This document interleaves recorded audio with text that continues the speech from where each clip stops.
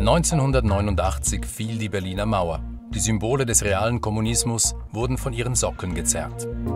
So berichtete der 67-jährige Mario Comenzoli in einem seiner Gemälde über das Ende der Ideologien. Derselbe Comenzoli, der in den 60er Jahren mit traurigem Nachdruck, den der eine oder andere mit politischem Einsatz verwechselt hatte, über das Epos der Armen in der Schweiz berichtet hatte, über das Leben der Emigranten aus dem Süden.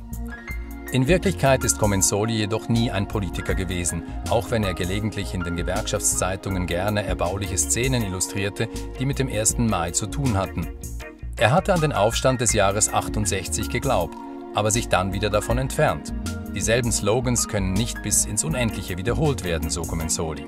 Er glaubte zwar an die aus dem Humanismus entstandenen Prinzipien der Solidarität, Während des Frauenstreiks von 1991 hatte er für die Gleichberechtigung von Mann und Frau Manifeste gezeichnet, aber seine Weltansicht war von Dogmen und Mythen losgebunden.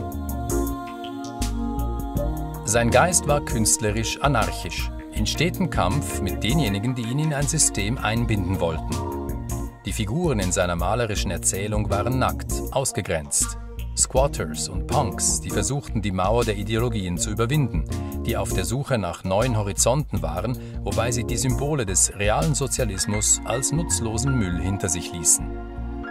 Diese pathetischen Figuren hat Comenzoli zuerst als Hoffnungsbringer geschildert, später als von der Geschichte und Institutionen zurückgestoßene Personen in einem Klima des letzten Ufers.